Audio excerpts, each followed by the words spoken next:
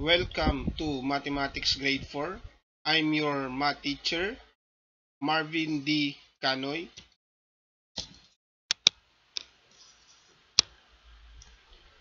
Third quarter, week 1, lesson 1, Mathematics 4. Learning competency, describe and draw parallel, intersecting, and perpendicular lines using ruler and set square. Let's recall or review. Name the different kinds of lines. Number 1, straight line or vertical lines. Number 2, curved lines. Number 3, zigzag lines. Number 4, diagonal lines. And then the last one is spiral lines. Let's understand, study the concept. Lines has no definite beginning and end. It can only be measured when the line points called end points are the set of the side of it. These points represent the beginning at the end of the given lines, which and then more properly called the line segment. Line AB. Okay, this is an example of line AB. Straight lines are further subdivided into the following kinds. First kinds of lines are parallel lines. Parallel lines on the same plane with beside each other without meeting at any point no matter how far they are extended. Okay, this is illustration for parallel lines. Intersecting lines.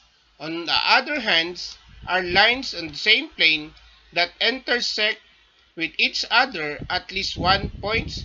Okay, this is the illustration of intersecting line. They intersect at one point. Perpendicular lines are lines in the same plane that intersect at one point and form 90 degrees angle.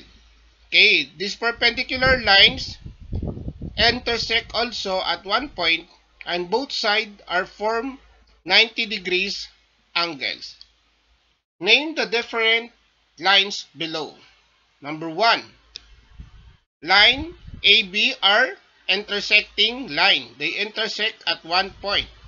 Line CD are parallel lines. They do not intersect each other. Let next E line EF are perpendicular line. Both sides are formed 90 degrees angles.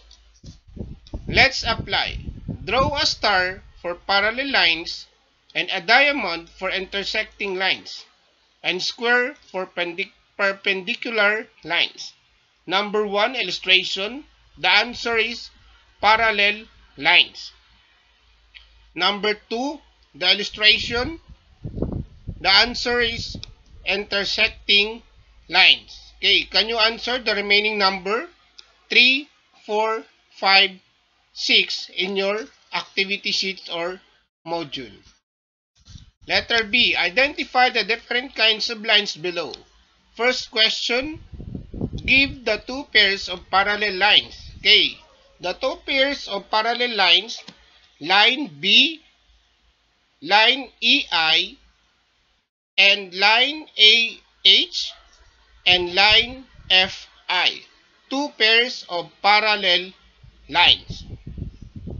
Using a ruler and set square, draw each pair of parallel lines in given statement. Letter A. Line AB are parallel lines. Letter B. Line EF and GH are perpendicular lines. Line IJ and line KL are intersecting lines and they intersect at point M. Let's analyze using the figure below. Answer the question that follow. How many lines are there in the figure? I will answer number one.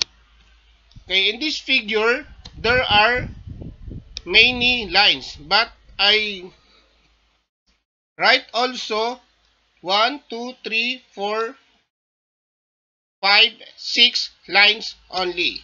Line AB, line EF, line BD line CT, line DF, and line BE, and so many more.